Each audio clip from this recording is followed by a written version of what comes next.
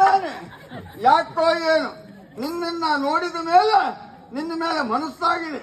ಆದ್ರಿಂದ ಈ ನನ್ನ ಮನಸ್ಸನ್ನ ನೀನ್ ತಕ್ಕೊಂಡು ನಿನ್ನ ಮನಸ್ಸನ್ನ ನನಗ್ ಕೊಟ್ಟು ನಮ್ಮಿಬ್ಬರನ್ನ ಸೇರಿ, ನಾವಿಬ್ರು ಸೇರುವಾಗ ಮಾಡೆ. ಸರಿಯಾ ಓದಿರು ಚಂದ ಮಾಡೆ. ಒಂಚೂರು ಮಾಡೆ. ಒಂಚೂರು ಮನ್ಸು ಮಾಡ.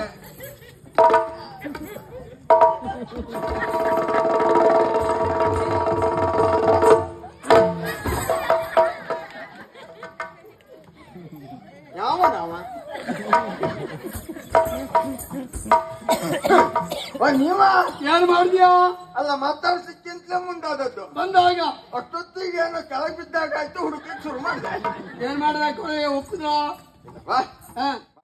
ದಿಗ್ವಿಜಯದ ವಾರ್ತೆಯನ್ನು ಎಷ್ಟೊತ್ತಿಗೆ ನಾನು ಕೇಳ್ತೇನೆ. ಎನ್ನುವ ಹಾಗೆ ನನ್ನ ಮನಸ್ಸು ಹೇಳ್ತಾ ಇತ್ತು. ಬಂದಿದ್ದೀಯಲ್ಲ? ಆ ದಿಗ್ವಿಜಯದ ವಾರ್ತೆಯನ್ನು ಕೇಳಬೇಕಿರುವಂತ ಆಸೆ ಹೆಚ್ಚಾಗ್ತಾ ಇದೆ.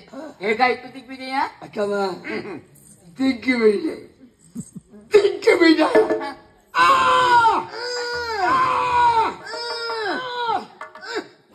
ಏನು ಅಲ್ಲ ಅಂತ ಅಲ್ಲ ಎಂತದ್ದ?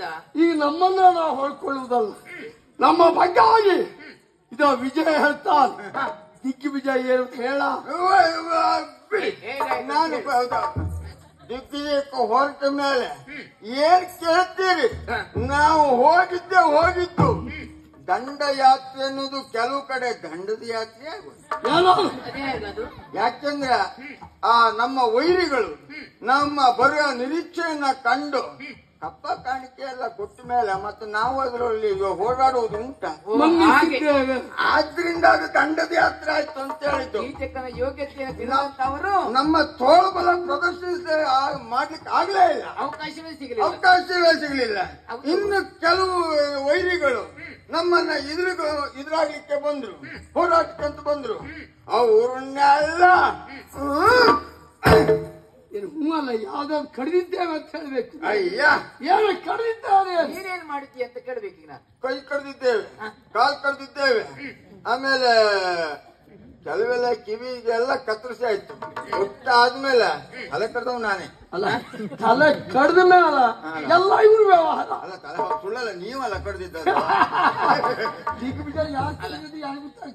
ಹೌದಪ್ಪ. ಅಲ್ಲ ಮೊದ್ಲು ಅವ್ರ ತಲೆ ಕಡ್ದ್ರ ಇವ ಆಮೇಲೆ ಪುಸ್ತಕ ತುಂಟು ಅಂತ ಉಳಿದೆಲ್ಲ ಕಡಿಲಿಕ್ಕೆ ಶುರು ಮಾಡ್ದೆ ಪ್ರತ್ಯೇಕ ನೀನೇನು ಮಾಡ್ಲಿಲ್ಲ? ಅಲ್ಲ ಎಲ್ಲ ಈ ಚಕ್ಕ ಹೋದಲ್ಲಿ ವಿಜಯ ಅಷ್ಟೇ.